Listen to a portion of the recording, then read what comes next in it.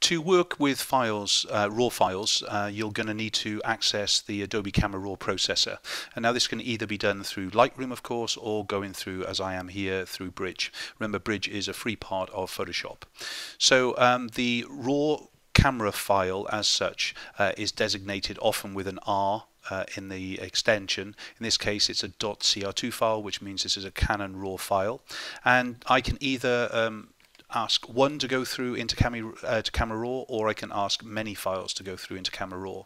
So let's just kind of look at one file to begin with. So I can either double click it, which instantly will kind of launch the Camera Raw processor, where I can make the adjustments, or in the same way, if I just go back to Bridge, I can just come up into File, and then open in Camera Raw. And this will then actually launch itself in exactly the same way. To enlarge the window, to make it e easier to work, of course, just move it over to the side and drag out the, uh, the corner. This will allow you to see your image in a much bigger size, helping you to kind of work with it.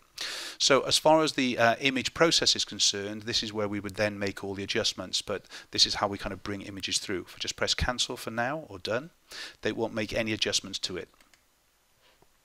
If I now bring a group of images in, so just shift click in all those, and once more I just go into Control R, which is the shortcut or Command R on the Mac to go into the Adobe Camera Raw processor. Um, you can see that the four images are now launched on the left hand side.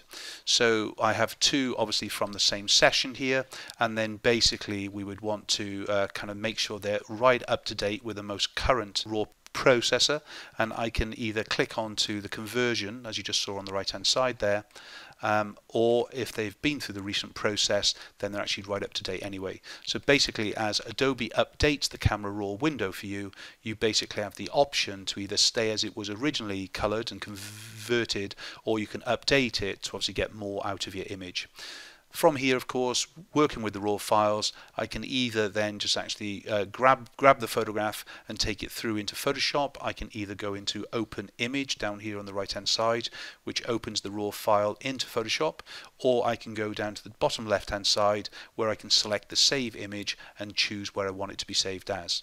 And that's the basics of working with Camera Raw.